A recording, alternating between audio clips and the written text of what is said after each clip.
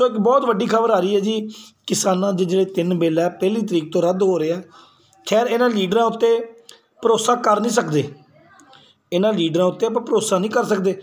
ਪਰ ਫਿਰ ਵੀ ਕਿਤੇ ਨਾ ਕਿਤੇ ਇੱਕ ਮੰਜ਼ਿਲ ਤੇ ਰਾਹਤ ਦੇ ਵਿੱਚ ਆਪਾਂ ਜੇ ਸਾਡਾ ਬਿੱਲ ਰੱਦ ਹੋਊਗੇ, ਸਾਡੀ ਦੀਵਾਲੀ ਉਸ ਦਿਨ ਹੋਏਗੀ। ਸਾਡਾ ਇਤਿਹਾਸ ਉਸ ਦਿਨ ਨਵਾਂ ਖੁੱਲ੍ਹੇਗਾ, ਕਿਉਂਕਿ ਸਾਡੇ ਦੇਸ਼ ਦਾ ਨਾਰਾ ਜੈ ਜਵਾਨ, ਜੈ ਕਿਸਾਨ ਹੈ। ਸੋ ਬਹੁਤ ਵੱਡਾ ਇੱਕ ਉਪਰਾਲਾ ਕੀਤਾ ਮੋਦੀ ਸਰਕਾਰ ਨੇ ਕਿ ਜਿਹੜਾ ਤਿੰਨ ਕਾਨੂੰਨ, ਕਾਲੇ ਕਾਨੂੰਨ ਰੱਦ ਕੀਤੇ ਆ। ਸੋ ਆਪਾਂ ਕਿਸਾਨਾਂ ਦੇ ਨਾਲ ਆ।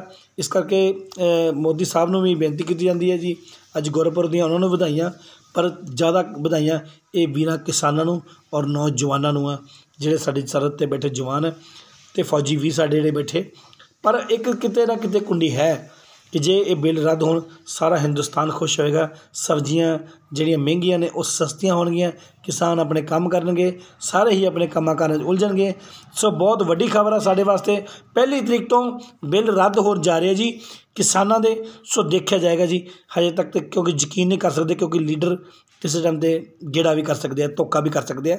ਪਰ ਉਸ ਪਰਮਾਤਮਾ ਅੱਗੇ ਕਿਸੇ ਦੀ ਨਹੀਂ ਚੱਲਦੀ, ਕਿਉਂਕਿ ਜਿੱਥੇ ਕਿਸਾਨ ਤੇ ਸਾਨ ਖੜਦੇ ਆ, ਯਾਰ ਦੇਖ ਲੈ ਵੱਡੀਆਂ ਵੱਡੀਆਂ ਗੱਲਾਂ ਵੀ ਹੋ ਜਾਂਦੀਆਂ ਨੇ, ਗੱਲਬਾਤ ਰੱਖਣੀ ਪੈਂਦੀ ਹੈ ਜੀ। ਸੋ ਇਹਨਾਂ ਨਾਲ ਕਹਿੰਦਾ ਵਾਹਿਗੁਰੂ ਜੀ ਕਾ ਖਾਲਸਾ, ਸ਼੍ਰੀ ਵਾਹਿਗੁਰੂ ਜੀ ਕੀ ਫਤਿਹ ਜੀ। ਸਾਰੇ ਮੇਰੇ ਵੀਰ ਜਿੰਨੇ ਵੀ ਆ ਜੀ, ਇਸ ਵੀਡੀਓ ਨੂੰ ਲਾਈਕ ਔਰ ਸ਼ੇਅਰ ਔਰ ਕਮੈਂਟ ਕਰਿਓ ਜੀ। ਥੈਂਕ